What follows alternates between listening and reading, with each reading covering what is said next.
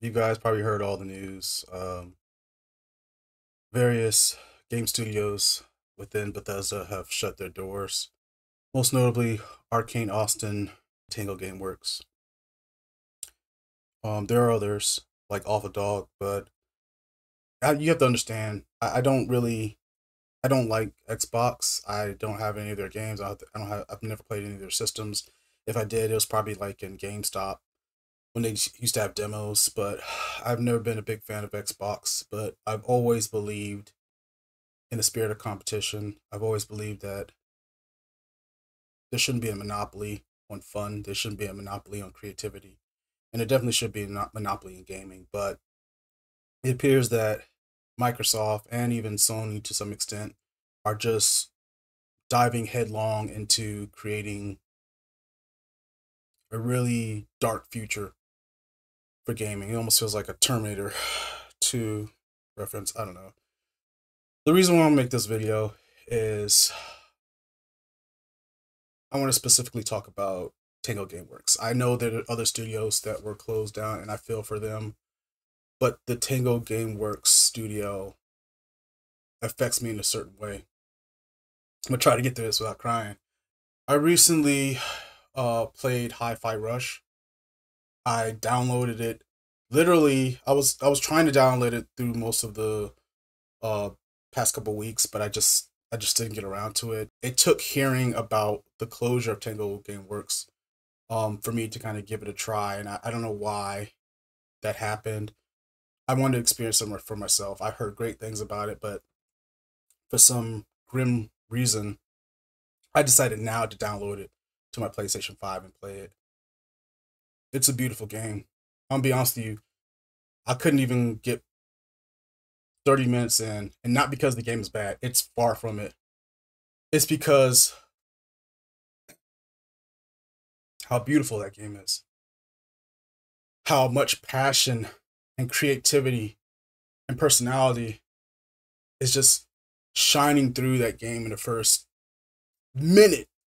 Um, I'm not gonna talk about the stories of Hi-Fi Rush. I'm just talking to you about my feelings about it. That it's a damn shame that a game like Hi-Fi Rush that surpassed every metric, that fought past being on put on Game Pass and not being marketed well, Xbox not knowing what the fuck to do with it, and defying all those odds to be critically acclaimed and commercially successful game for them to shutter the studio doors. I don't really have a soft spot in my heart for Shinji Mikami. Um, he's a brilliant asshole, and um, he's made incredible games. Whether he's worked when he's worked for Capcom, when he's worked and moved over to Clover, um, when he established, helped establish Platinum Games, and now with Tango GameWorks. But he's always found a way to kind of dip out and find new endeavors right before that studio closes. And I'm not gonna talk shit. I mean, I've already talked enough shit about him. I'm mainly gonna talk shit about why do I, as a consumer, continually trust in people like Phil Spencer and people like Jim Ryan. How they promote diversity and and creativity for all and we want to see games grow and all this flowery flowery language to kind of woo you guys in that hey we're gamers just like you we've been doing this we've been in this business a long time and we know exactly what gamers like you want. And in one hand, say those words, and another hand, are businessmen. And many of you probably saying, "Hey, that's your fault, Cabs. You know, you're the fucking fool. you never trust a business. You never trust CEOs. They are only focused on the business." And yeah, you're right. You're right. I am Boo Boo the fool. But to see studios like London Studios, um, that made SingStar and all these wonderful, great VR um, games for PlayStation and studios like Arkane Austin. You know, despite what you guys may think about Redfall, I like the art.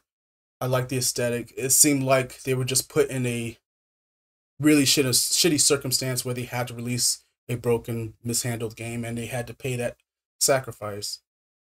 I'm just tired of watching incredibly talented, passionate people fall by the wayside for the bad fucking decisions, the almighty greed model, and we get this homogenization. You know, we get year after year of the same games with the same stain of bad quality of just we'll, we'll, we'll ship it out now and we'll fix it fucking later. Or we won't fix it at all. You know, we'll make a sequel with the same fucking engine. You know, Starfield. It's, it's affecting me on an emotional level because I know what it's like to be drinking the Kool Aid and, you know, attending all these meetings where, you know, hey, we're a company, you know, we're going all these trips and, you know, we're, we're all wearing the same swag and we're all believing in the same vision of the company and, you know, we're all paying attention to our quarterly reviews and all this bullshit. And in reality, no matter how hard you seem to work, no matter how many metrics you seem to surpass, you're just a number. You're, you're just a number on a balance sheet for these companies. And for some reason, studios like Microsoft thought, let's just spin out the ass and not manage shit. Can you imagine having a job where your sole responsibility is to manage studios and you fail spectacularly on it?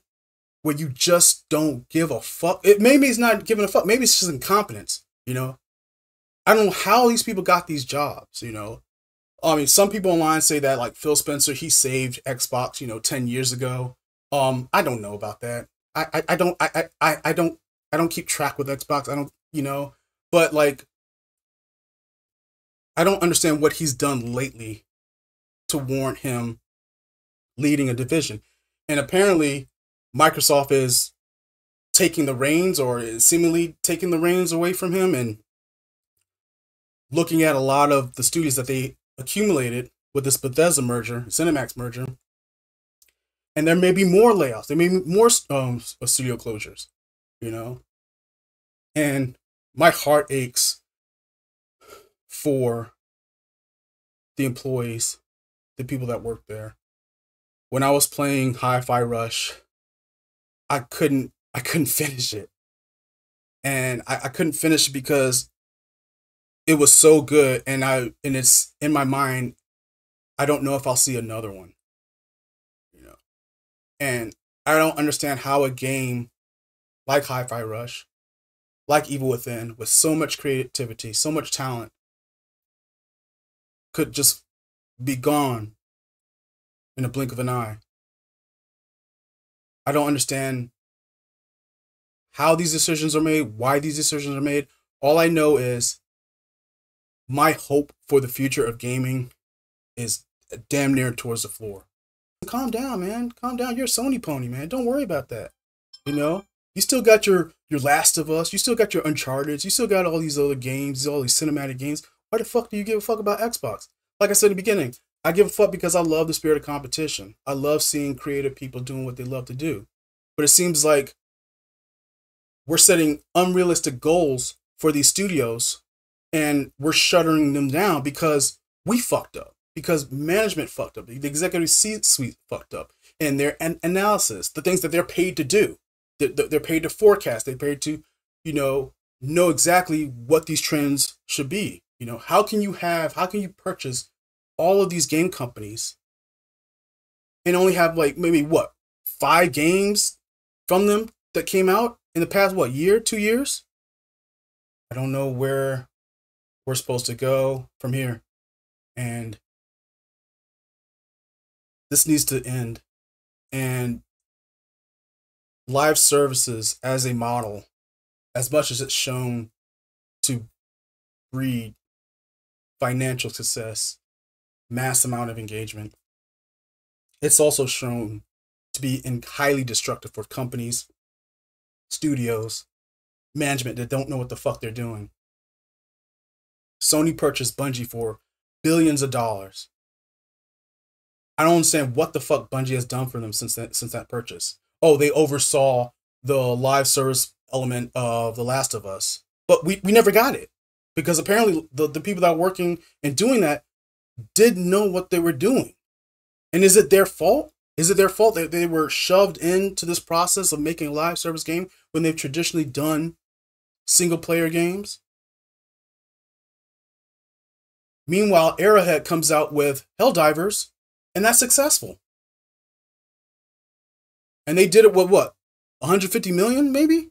What's going on? I've been playing a lot of old games lately, a lot of PS4 games, because every time I play a new game, there's some other bullshit in it. There's some bullshit that just distracts me from the game.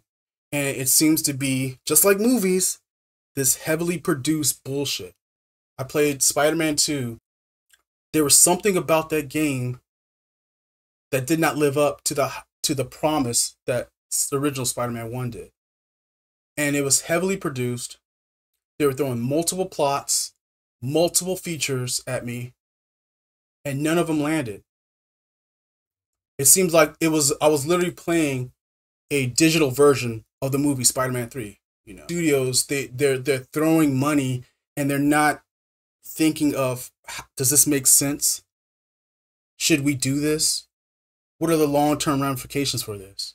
I wanted to make this video because I felt a heavy heart with a lot of the studio closures.